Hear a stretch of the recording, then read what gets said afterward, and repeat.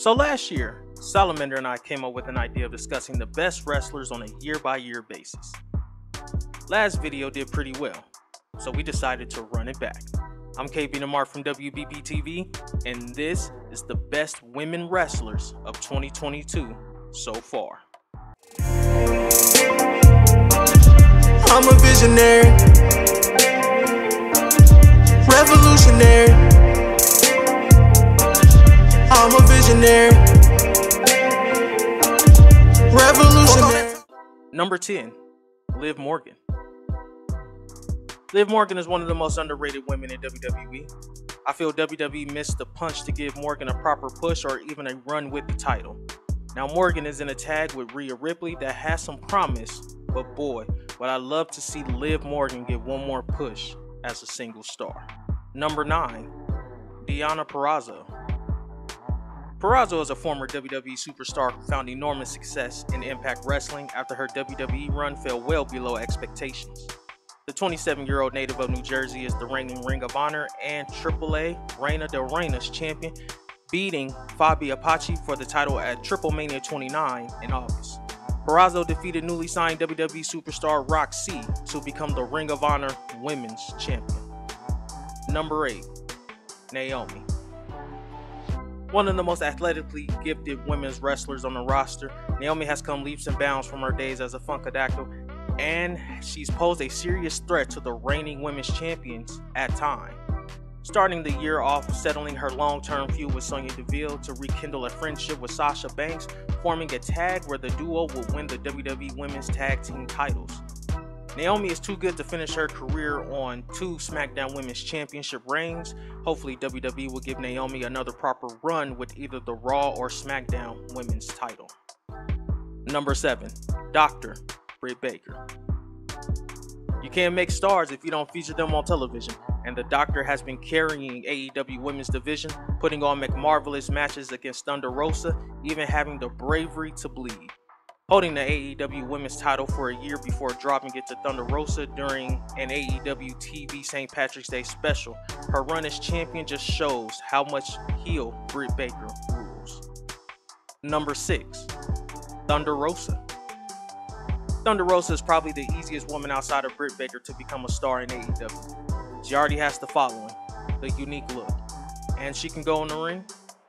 Most of Rosa's matches are intense and hard hitting, and she's an unstoppable force that's always willing to win no matter how much pain she has to endure. Thunder Rosa is a versatile worker who has the ability to adapt to each of her opponents Rosa has delivered some excellent matches in AEW, most notably her AEW Women's title win on Dynamite. Number 5, Jade Cargill. The moment Jade Cargill debuted on AEW, we knew AEW had big plans for her. From the start, people saw the potential Cargill could have if booked right. It also helps that she has the looks of a Greek goddess, and fans were immediately fascinated by her. Her debut started off on the wrong foot with a feud with Brandi Rhodes and a not so good promo from her. But one thing AEW does well is highlight the positives and improve the negatives on their roster.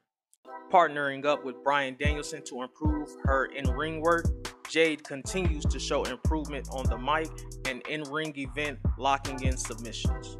Becoming the first TBS champion and also having an undefeated record is the reason she ranks so high. Number 4 Toxic Attraction. From slipping at WrestleMania to dyeing her hair brunette to aligning herself with newly signed superstars Gigi Dolan and Jacy Jayne. Toxic Attraction breathed new life into a floundering NXT women's division. It didn't take this group long to become the undisputed era of the women's division, holding all the gold. Mandy Rose has come leaps and bounds from where she was on the main roster and her and this new super group may be ready for the main roster. And if NXT is the blueprint to how they will be booked on the main roster, I can see Toxic Attraction on SmackDown with all the gold once again. Number 3, Becky Lynch. Becky Lynch is the only woman in history to become a top face in WWE. That's thanks to her unique character, her charisma, her promos, and her in ring skills. Big Time Bex has delivered some of the best women's matches in WWE history. For example, the main event match against Charlotte Flair and Ronda Rousey, and her recent showdown with Bianca Belair. Number two, Charlotte Flair. Certainly, Charlotte Flair inherited her father's talents. Perhaps she's not the most charismatic woman, but in terms of in ring skills, the Queen is the complete package. One of the most dominating women on SmackDown, holding down the women's division on the Blue brand for about eight months now. With Bayley being out, it seems like no one would dethrone the Queen anytime soon. Number one, Bianca Belair.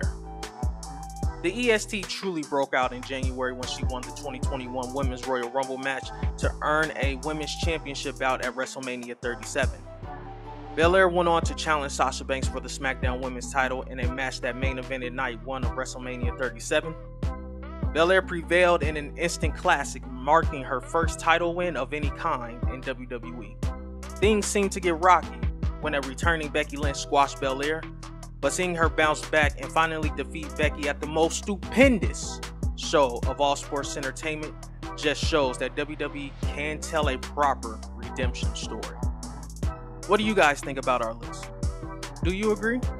If not, let us know who you would have up here instead. Don't forget to like, comment, and subscribe to become a member of the WBP TV family.